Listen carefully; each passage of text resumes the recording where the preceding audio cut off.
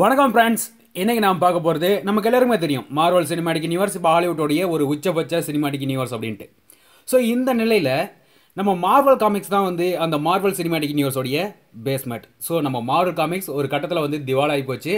So அதன் பிறகு தான் எந்திரிச்சு இப்போ மார்வல் சினிமாட்டிக் யூனிவர்ஸாக வந்து மாறி நிற்குது ஸோ இது என்ன நடந்தது அப்படிங்கிறது தான் இன்றைக்கி வீடியோவில் நம்ம பார்க்க போகிறோம்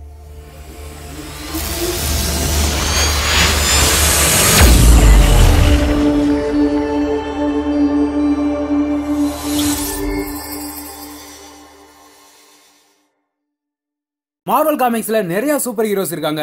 அவங்க எல்லாருமே வில்லனை எடுத்து சண்டை போடுவாங்க. சில இடங்களில் கடுமையாக தோற்று போய் மண்டியிட்டு கடைசியில் போராடி எந்திரிச்சு வெற்றி அடைவாங்க.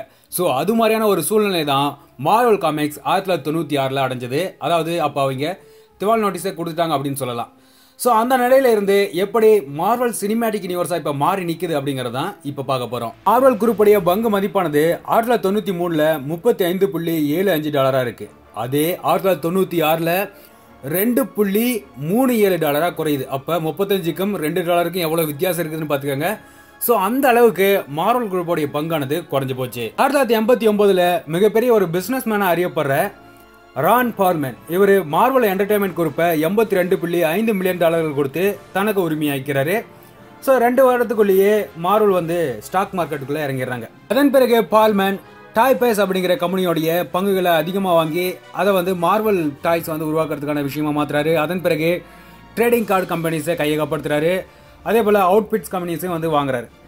ஸோ இந்த எல்லாமே எவ்வளோக்கு செலவு பண்ணியிருக்காங்க அப்படின்னா ஏழ்நூறு மில்லியன் கிட்டத்தட்ட வந்து செலவு பண்ணியிருக்காங்க தொண்ணூறுகளில் மார்வல் காமிக்ஸோடைய விற்பனையானது ஒரு உச்சத்தை தொட்டுது அப்படின்னு சொல்லலாம். அதுக்கு காரணம் அந்த புத்தகங்களோட கொடுக்கப்பட்ட ட்ரேடிங் கார்ட்ஸ் இப்போ ஒரு புத்தகம் வெளியிடுறாங்க அப்படின்னா அதை சார்ந்து ஐந்து வகையான ட்ரேடிங் கார்ட்ஸையும் வெளியிடுவாங்க.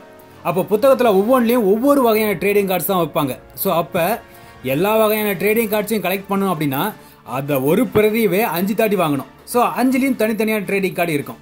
அப்போ ரசிகர்கள் என்ன பண்ணாங்க அப்படின்னா படிக்கிறதுக்காக ஒரு புத்தகமும் சேகரிக்கிறதுக்காக ஐந்து ட்ரேடிங் கார்ட்ஸோட ஐந்து புத்தகங்களையும் வாங்கினாங்க. அப்போ ஒரு ஆளே வந்து ஆறு ஏழு புத்தகங்களுக்கு மேலே வாங்குறான். அப்போ என்ன ஆகும்? விற்பனை அதிகரிக்கும். ஸோ இந்த புத்தகங்களை எதுக்காக சேகரிக்கிறாங்க அப்படின்னா ரசனை அடிப்படையிலையும் அதே போல் எதிர்காலத்தில் அது அதீத விலைக்கு விற்போம் அப்படிங்கிற அடிப்படையில் தான் வந்து சேகரிக்கிறாங்க. ஸோ இந்த விஷயமானது நம்ம தமிழ்நாட்டு காமிக்ஸ்லேயும் நடக்குது. ஸோ நிறைய பேர் புத்தகங்களை வாங்கி சேகரித்து வச்சுப்பாங்க. ஸோ அதனுடைய ஸ்டாக் குறைஞ்ச உடனே அதீத விலைக்கு விற்பனை செய்வாங்க. ஸோ அந்த மாதிரியான விஷயம் அமெரிக்காவில் ரொம்ப சர்வசாதாரணமாக நடக்கும். ஓகே நம்ம விஷயத்துக்கு வருவோம். தொண்ணூறுகளில் இதே மாதிரி ட்ரேடிங் கார்ட்ஸை பயன்படுத்தி அதிகமான புத்தகங்களை விற்பனை செய்கிற ஐடியாவை பல காமிக்ஸ் நிறுவனங்கள் செஞ்சது. ஸோ இது எதிர்காலத்தில் பிரச்சனை அமையும் அப்படிங்கிறத யாருமே உணர்ந்தில்லை ஆனால் ஒரு நபர் உணர்ந்திருந்தாரு. அவரோட பேர் நீல் ஹைமன். சாண்ட்மேன் அப்படிங்கிற ஒரு குறிப்பிடத்தக்க ஒரு காமிக்ஸை உருவாக்கின ஒருத்தர். ஸோ அவர் என்ன சொன்னார் அப்படின்னா நீங்கள் இப்போ ஒரு ரசிகன் வந்து ஆறு ஏழு புத்தகத்தை வாங்குறத சரி அப்படின்னு நினைக்கிறீங்க. நிச்சயமாக இது ஒரு தேக்க நிலையில் போய் நின்று இது காமிக்ஸ் இண்டஸ்ட்ரிக்கே பிரச்சனையாக வந்து அமையும். அதாவது பதினேழாம் நூற்றாண்டில் ஒரு பூ மொட்டை வந்து நிறைய பேர் வாங்கி வச்சாங்க அதிக விலைக்கு விற்பனை ஆகும் அப்படின்ட்டு. அதனுடைய விலை குறையும் பொழுது என்ன ஆச்சு அப்படின்னா அத்தனை பேர் திவாலாயிட்டான். ஸோ அந்த மாதிரியான ஒரு யூக வணிக நிலையில தான் நாம் இப்போ புத்தகத்தை விற்பனை செஞ்சுட்டு இருக்கோம். இது பிரச்சனை ஆயிடும் அப்படிங்கிறத ஆயிரத்தி தொள்ளாயிரத்தி தொண்ணூற்றி மூணில் மூவாயிரம் ரீட்டைலர்ஸ்க்கு முன்னிலையில் நேல் ஹைமன் குறிப்பிட்டிருந்தாரு. ஸோ அந்த நிலையானது ரொம்ப சீக்கிரமாகவே மார்வல் காமிக்ஸுக்கு வந்து சேர்ந்தது. ஒரு கட்டத்தில் வந்து ரசிகர்கள் வந்து புத்தகத்தை வாங்குறதை குறைச்சிக்கிட்டாங்க. ஸோ இதனால அதிகமான புத்தகங்களை அதி அச்சடிக்கான செலவுகளை வந்து விற்பனையாகிற புத்தகத்து மேலே தான் வைக்க முடியும். ஸோ அதன் அடிப்படையில் புத்தகத்தினோட விலையானது அதிகரிக்க ஆரம்பிச்சது. ஸோ அப்போ என்னாச்சு? புத்தகத்தை வாங்குறதே குறைச்சிக்கிட்டாங்க. ஒரு சில ரீட்டைலர்ஸ் வந்து வெறும் முப்பது பர்சன்டேஜ் புத்தகங்களை மட்டுமே விற்பனை செஞ்சுருக்காங்க அதாவது எழுபது பர்சன்டேஜுக்கு மேலே வந்து புத்தகங்கள் விற்பனையாகாமே நின்று இருக்குது ஸோ இந்த வகையான ஒரு தேக்க நிலைக்கு மார்வல் காமிக்ஸ் வந்து சேர்ந்தது. இதனால ஆயிரத்தி தொள்ளாயிரத்தி தொண்ணூற்றி ஆறு டிசம்பர் மாதத்தில் மார்வல் காமிக்ஸ் ஆனது சாப்டர் லெவன் திவால் நோட்டீஸை கோர்ட்டில் சப்மிட் பண்ணுறாங்க அது என்ன சாப்டர் லெவன் அப்படின்னு கேட்டிங்கன்னா அது எனக்கு புரிஞ்ச மாதிரி சொல்கிறேன் அதாவது இந்த நோட்டீஸ் அடிப்படையில் அதாவது சாப்டர் லெவன் அடிப்படையில் யார் சொத்தோட உரிமையாளரோ ஸோ அவனே வந்து அந்த சொத்தை பார்த்துப்பான். அவன் திவாலாகி போயிருக்கான் அவன் இப்போ கடனாளியாக இருக்கான். அவனே வந்து அந்த சொத்தை பார்த்துப்பான் அந்த நிறுவனத்தை பார்த்துப்பான். அவன் தேறி வர வரைக்கும் கோர்ட் வந்து அவனை மேற்பார்வை பண்ணிட்டு இருக்கான் இதை தவிர்த்தும் இன்னும் நிறைய சாப்டர்ஸ் சொல்லப்படுது. அதாவது சாப்டர் செவன் அப்படின்னு ஒன்று சொல்லப்படுது. அதன் அடிப்படையில் சொத்தை வித்துருவாங்க. விற்று யார் கடன் கொடுத்தாங்களோ அவனுக்கு கொடுத்துட்டு மீதி இருக்கிறத மட்டும் இந்த ஓனர்கிட்ட கொடுப்பாங்க. ஸோ அந்த மாதிரியான நிலைமை. ஸோ இதை தவிர்த்து சாப்டர் தேர்ட்டின் அப்படின்னு ஒன்று சொல்லப்படுது. ஸோ இந்த சட்டம்லாம் நமக்கு செட் ஆகாது. ஸோ சாப்டர் லெவனை வந்து மார்வல் தாக்கல் பண்ணுறாங்க ஸோ அதன் அடிப்படையில் கோர்ட்டும் அதை எடுத்துக்குது. இப்போ இந்த திவால் நோட்டீஸ் காரணம் ரான் பால்மேன் தான் அப்படின்னு சொல்லிட்டு அந்த மார்வலை சேர்ந்த மற்ற நபர்கள் அவர் மேலே வந்து பழி சுமத்துறாங்க. இந்த நிலையில் ரான் பால்மேன் என்ன பண்ணுறாரு அப்படின்னா மார்வல் என்டர்டெயின்மெண்ட்டையும் டாய்பிசியும் ரெண்டையும் இணைச்சு மார்வல் ஸ்டுடியோவை மாற்றி சினிமா உருவாக்க ஆரம்பிக்கலாம் அப்படிங்கிற எண்ணம் அவருக்கு தோணி ரெண்டையும் இணைக்க ட்ரை பண்ணுறாரு அதுக்கு தடையாக வராரு கால் ஐகான் ரெண்டு பேருக்கும் தொடர்ந்து சண்டை போயிட்டே இருக்கு. நீண்ட கோர்ட் கேஸுக்கு பிறகு ஆயிரத்தி தொள்ளாயிரத்தி எட்டு டிசம்பரில் கோர்ட் வந்து இப்படி தீர்ப்பு கொடுக்குறாங்க. என்ன அப்படின்னா மார்வல் என்டர்டைன்மெண்ட்டையும் டாய் பேசியும் ரெண்டையும் இணைச்சிக்கலாம் அப்படின்னு சொல்லிடுறாங்க ஸோ ரெண்டுமே இணைக்கப்படுது.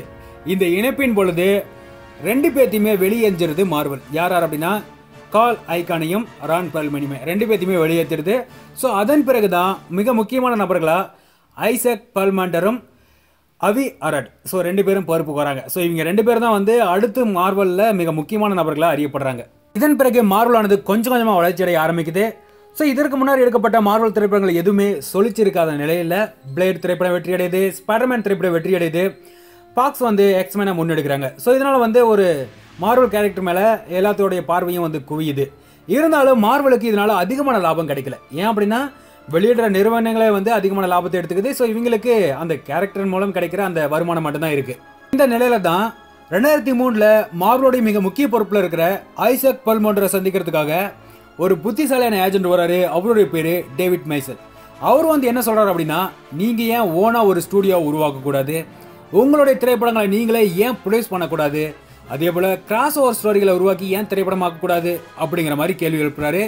ஸோ இந்த கேள்விகள் எல்லாமே நல்ல ஐடியாவுக்கு வழிவகுக்குது ஆனா அதுக்கு ஆகிற செலவானது ரொம்ப ரொம்ப அதிகம் அப்படிங்கிறது ஐசக் பர்மண்டருக்கு தெரிஞ்சிருந்தது. இந்த நிலையில தான் ரெண்டாயிரத்தி அஞ்சுல மார்வலுக்கும் மெரில் ரேஞ்ச் அப்படிங்கிற ஒரு பேங்கிங் நிறுவனத்துக்கும் ஒரு டீலிங் அமைது ஸோ இந்த டீலிங் படி ஐநூற்றி இருபத்தி ஐந்து மில்லியன்களை வந்து பயன்படுத்திக்கலாம் அப்படிங்கிற மாதிரியான வாய்ப்பு மார்வலுக்கு கிடைக்குது.